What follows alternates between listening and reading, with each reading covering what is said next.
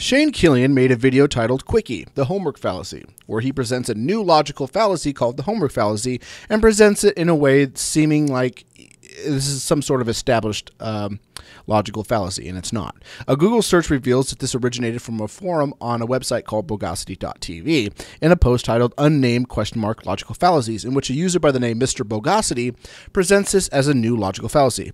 Uh, by the way, that's Shane on his own forum.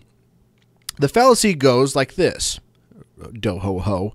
Uh, skeptic, do you have a scientific source for that claim? Claimant, I am not going to do your homework for you. Now, logical fallacies are arguments that are poor or invalid. If it's not an argument, it can't be a logical fallacy. The statement is not, I am right because do your homework, or if you look it up, you'll agree with me. He's telling you to look it up and anything can happen. You could find supporting information. You could find counter in, uh, factual information. You could find no information, or you just won't do it.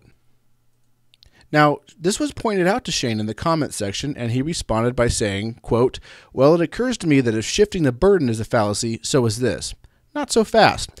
The shifting Shifting the burden is fallacious because it's an argument. You are incorrectly arguing that the burden of proof is not on the person making the positive claim, but on the person making the negative claim. As negative claims cannot be proven, you cannot demand proof. Hence, bad argument, but argument nonetheless. If someone is committing the homework fallacy, they are not shifting the burden of proof as needed in argumentation, they are just lazy and not wanting to do the legwork of backing up their claim and telling you to do it.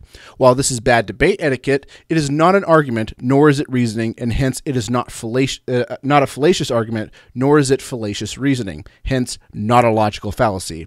Uh, in before Shane calls me a liar. Worms.